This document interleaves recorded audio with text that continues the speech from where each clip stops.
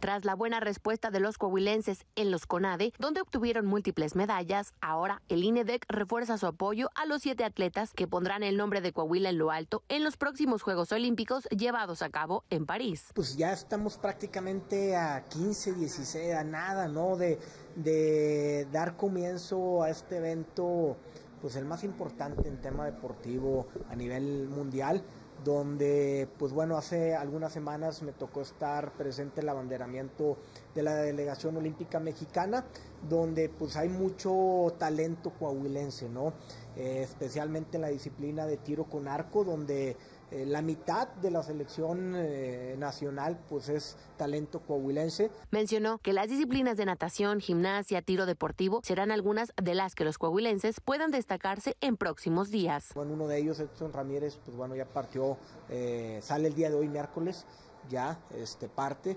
y, pues bueno, ya la mayoría pues ya no están aquí en, Saltillo, aquí en Coahuila, ya, ya, ya se fueron, ya están en concentración y ya están listos para representarnos.